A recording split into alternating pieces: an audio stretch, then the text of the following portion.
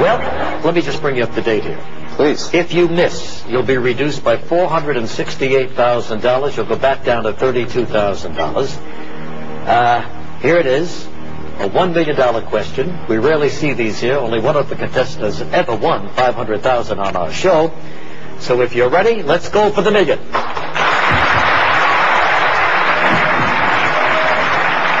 Which of these U.S. presidents appeared on the television series Laugh-In? Lyndon Johnson, Richard Nixon, Jimmy Carter, Gerald Ford. Um, I like to call my parents right now.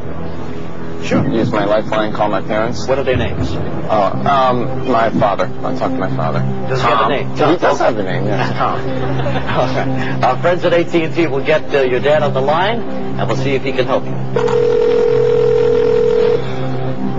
Hello? Hello, Tom. Yeah. Hi, Regis Philbin here from Who Wants to Be a Millionaire. Hi. We've got uh, your son John uh, with us right now. He's doing pretty well. Good. He's won a half million dollars, Wow. and he's going for a million dollars. And he needs your help to get there. So, okay. he's going to come on the line, read a question, four possible answers. One of them is the right answer. And uh, the next voice you hear will be John's. John, you've got 30 seconds. Starts right now. Uh, hi, Dad. Hi. Uh, I don't really need your help. I just wanted to let you know that I'm going to win the million dollars.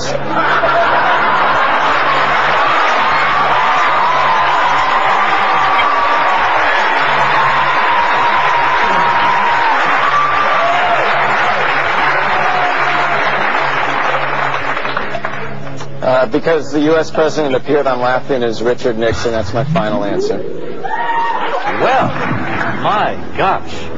What can I say except, Debbie, you're going to Paris, and this is the final answer heard all around the world. He's won a million dollars.